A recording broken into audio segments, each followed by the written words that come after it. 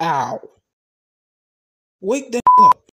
The Australia Oceania continent argument is a debate I have had with multiple people on all corners of the internet. I have spent days of my life convincing people that Oceania is not a continent, and of course, I won every single time. Yes, hold your applause, because I know what I'm talking about, but it's still very frustrating to write essays every single time in comment sections. So I have just decided to set up this video laying out all of my arguments and clearing up a ton of misconceptions so that rather than writing essays in comment sections, I can at least refer people to this video. Finally, please understand that I am very passionate about this particular topic, so if I sound too overly defensive or aggressive, that's why. Alright, to start off, we are first going to have to define our terms. What is a continent and what is a continental region.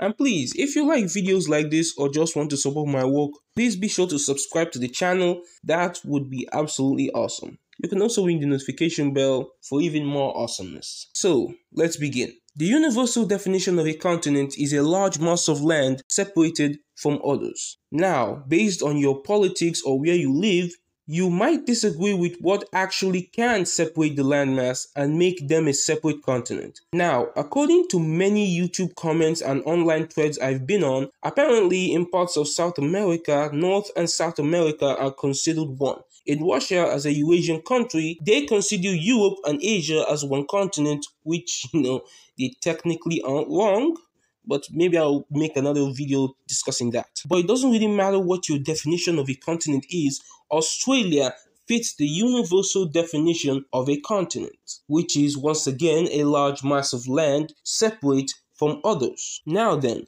what is a continental region? A continental region is the region around a particular continent. Yup, that's it. Pretty self explanatory. Now, these definitions are one of the biggest reasons why we're even having these conversations. You see, continent and continental region are one of those words that are used interchangeably while actually meaning different things. A good example, which I referenced in a previous video, would be pedo fans of the playground. Yes, I'm going to call these guys fans of the playground from now on. Yeah, this is used as an all encompassing word for all fans of the playground. However, it only refers to certain groups of said fans of the playground. A lot of people I've had debates with say that they were taught that Oceania was in fact a continent.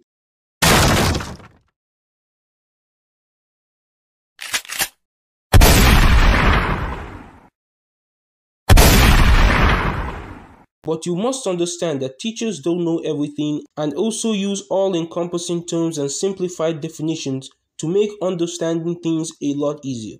That's why professional criminologists and psychologists still use the term fans of the playground to refer to people who are attracted to minors, despite the fact that that's actually incorrect. The same thing applies to continent and continental regions. A continent is the landmass and the region is the area surrounding said landmass. But hey, if you still don't get it, I devised something called the continental test. It's an easy way for you to test if a particular landmass or region has a continent within it. So let's try this on my least favorite continent of them all, Africa. As you can see, there is absolutely no doubt that this is a continent. Well, how about now? The islands on the African continent have been removed, and as you can see, this is still undoubtedly a continent with just this single landmass. But when we take out the landmass, of course, as you can see, this no longer fits any definition whatsoever of a continent. This test works for any other continent Asia, Europe, North America, South America, Antarctica, and of course, Australia. You see, the people who say Oceania, not Australia, is the continent don't understand the implications of what exactly they're saying. Oceania is a group of lands scattered along the South Indo-Pacific. That's literally the definition of a region and not a continent. If you were to take out Australia, this is what is left of Oceania. If something like this can be considered a continent, what's next? Is the Caribbean now a continent? What's that? Is too small? Then what about Indonesia? Indonesia is just like Oceania in this case. It's a group of islands in a region and it's massive. It actually spans the same length as the continental United States. In fact, based on size, Indonesia is actually more qualified to be a continent than Oceania without Australia. So why isn't it? Well, the answer is simple. It doesn't pass the continental test. There is no large landmass in Indonesia. None of the islands in Indonesia is large enough to be called a continent, not even close. Oceania, on the other hand, has Australia, the continental landmass in Oceania. Without Australia, Oceania would just be a group of islands barely twice the size of Texas scattered in water. And that is not what a continent is. Australia, however, is what a continent is. Now, I would like to clear up some very common misconceptions and arguments used by a lot of people who say Oceania is a continent. Number one, a continent is not a group of countries. I hear people say stuff like, if Oceania was not a continent, then what continent is Insult Country here a part of? And that's a really terrible argument. Because it treats a continent as a group of countries, it literally treats a continent as a region and not a landmass. A continent doesn't need to have countries in it. Antarctica has no countries in it, and it's still a continent. Another thing I wanted to mention though is the Australian continental plate. As you can see, this is not the Oceanian continental plate. It doesn't really match up with the countries in Oceania. It's just kind of doing its own thing. So yeah, you know, if Australia wasn't a continent, it wouldn't have its own continental plate. So, yeah, this is another thing that affirms Australia's geographical reality as a continent. Fun fact the Indian subcontinent also has its own continental plate. As you can see right here, it almost completely aligns with the geography of the Indian subcontinent, which is pretty cool because it means that if only India wasn't attached to the Asian continent, it would have been its own continent. So yeah, just wanted to add this little fun fact there, which is also completely unrelated to this video, so let's move on. And that brings me to my second clarification, that quote unquote, every country is part of a continent. That's why it's ridiculous to say that places like Japan aren't part of the continent, but the continental region. But the answer to that is no. Actually, no, not all countries and places are part of a continent. One of the most popular examples of such places is Hawaii. Politically, Hawaii is part of the United States, but it's not geographically or even regionally part of any continent. And yes, Japan is geographically not part of the Asian continent, but part of the continental region. I feel like I should elaborate on continent and continental regions again using, say, Guam. If you look up Guam on Google right now, they'll tell you its continent is Oceania. But as we discussed, Continent is used as an all-encompassing term to refer to both continents and their continental regions. This term is used even by professionals and as we can see, Google. This is technically incorrect. The same thing happens when you Google, you know, fans of the playground. The definition you're given by Google is technically wrong. But even Google uses this wrong definition because this word has literally become a simplified all-encompassing word. Same with continent. To find the actual detailed meaning of these words, you actually have to enter some of the articles on the websites that Google presents to you. And even they might still use the simplified all encompassing term. So I don't really blame people for not knowing some of this stuff. It seems that Google sometimes makes information harder to get rather than easier. The third argument I usually hear quite a lot is Australia is not a continent. By the way, I'm Australian. This literally doesn't matter. Living in Australia or New Zealand doesn't tell you the country is a continent. You get that information the same place that I do, from books and the internet. I can easily access Australian or New Zealand books online if I wanted. So living there doesn't change the reality of what your country is. The fourth argument I usually hear is Oceania is a continent. That's what I learned in school. So if this video teaches you anything at all, it should be that teachers don't always know what they're talking about. They get their information the exact same place you and I do, from books and the internet. And these books can use simplified or all-encompassing terms to describe more complicated things as well. As a Nigerian, if I started learning that my country was a continent in school, it wouldn't make it true, it would just make it a lie my teacher told me. Now, the final and by far the most egregious misconception Australia is an island. Oh boy. These four words put together is an outrage to the human senses. Australia is not an island. The world's largest island is Greenland, sitting at a little over 800,000 square miles. But Australia, which sits at over 2.9 million square miles, is almost four times larger than Greenland.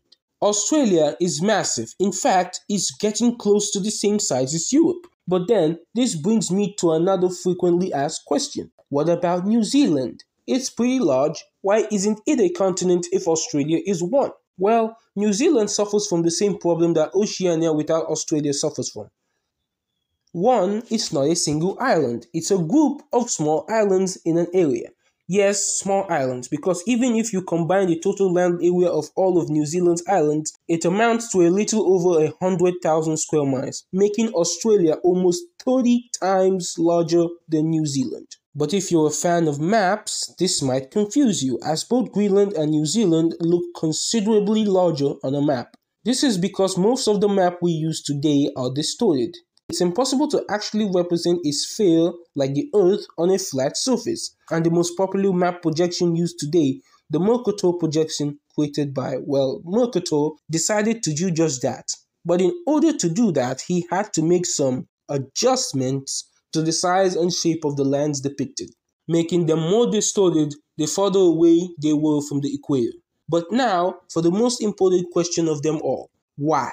Why is Oceania even a thing? Why is Australia the only continent to have a different name from its continental region? Because you must understand that every other continent is called the same thing as their continental region. The continent of Africa is part of the continental region of Africa, which is why an island like Madagascar can be accurately called an African country, and the British Islands can be accurately called a part of Europe, and so on. So why is Australia's continental region called Oceania rather than Australia? And the answer, my friend, is simple. It's politics. You see, Australia is the only continent whose land is completely encompassed by a single country. A country that bears the same name as the continent, which means that countries like New Zealand, Papua New Guinea, Samoa, and so on would end up becoming Australian countries. Also, the world's politics and trade is usually separated into continents and regions, like you have the African Union for the African continent, the European Union for the Europeans, and so on. So, Oceania was created as a region mostly encompassing what would have been Australia's continental region. So that makes Australia a continent inside the continental region of Australia, and its surrounding countries being part of the same continental region, Oceania. But of course, because continent and continental region are used interchangeably, people prefer to use Oceania in polls and you know on websites about continents or events talking about continents as using Australia rather than Oceania would exclude all of the other countries in the southern Indo-Pacific like you know Papua New Guinea, Fiji, Samoa and so on. So that's it. I have made my point. But I still believe there's going to be people out there who don't agree with me. I'm just a funny talking stick man on YouTube after all. So I will do something that I really don't like doing, something that I feel like if you have to resort to to make an argument, you shouldn't even bother. But for those who still don't believe me, I will do it. I will appeal to authority. A quick Google search shows you that Oceania is a geographical region, not a continent, of which over 80% of its land area is held by Australia. This is the Wikipedia article for the Australian continent. I also despise Wikipedia as a source of information. People trust it as a source, so I unfortunately have to include it. Wikipedia, by the way, also describes Oceania as a region, not a continent. The National Geographic also classifies Australia as a continent and Oceania as a region. So do websites like World Geography, Explorers, and all these are available around the world in different languages. And as far as I can tell, the definition always remains the same, whether it's in Spain or Brazil or even China. But hey, if you don't trust these websites and their lizard slash alien CEOs, then perhaps you trust some of the biggest geographical channels on YouTube, like Wendover Productions and RealLifeLore, that always call Australia a continent and Oceania a region. All these sources are accurate, they all consider the definition of a continent and the definition of a continental region and make their decisions. They do not use continent as an all encompassing term to refer to both the continent of Australia and the continental region of Oceania. And finally, something that should have put this argument to bed before it even begun. Saying that Australia is not a continent means that Australia is actually an island.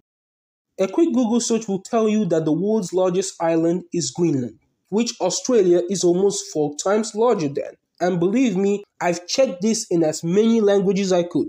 There is no part of the world where Australia is regarded as the world's largest island. That means that it has to be a continent. Hell, it's even recognized as a continent by multiple UN treaties, some of which were submitted by Australia itself, meaning that the international community and the Australian government recognizes Australia's geographical reality as a continent. That means that all you folks that say stuff like Australia is an island, I'm Australian by the way, or Oceania is a continent, I learned that in school in New Zealand, have only proved my point that your teachers really didn't know what they were teaching you and your government have done a really poor job filling you in on the geographical reality of your country.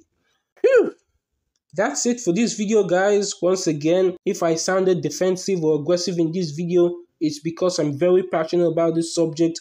I have had many conversations with many people on it. So sorry if I may come across as unfriendly. Believe me, I am not. I am a very friendly guy. But if you did like this video and if it taught you something, you could leave a like. This video literally took me years to fully research. So a like and a subscribe would be awesome. Also share this video with anyone you know who still believes Oceania is a continent. I have added as many details and I have tried to make it as clear as possible to prove to anyone at all that Australia is a continent, not Oceania. It would help me a lot. Once again, thank you very much for watching and I will see you next time.